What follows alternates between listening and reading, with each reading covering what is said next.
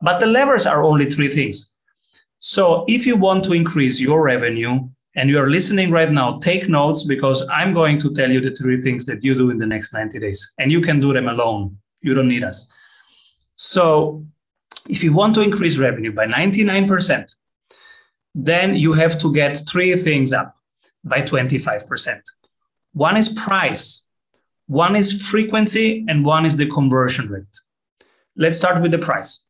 Mm-hmm. You probably have not found out what your max price is because they're not teaching it anywhere.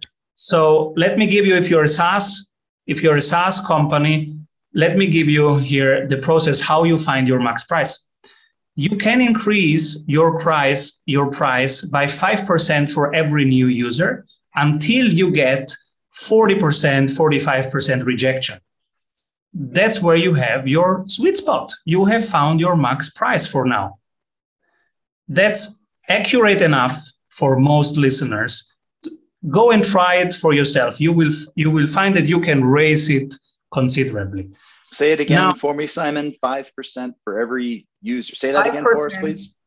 Increase your price by 5% for every new user and stop when you get 40%, 45% rejection.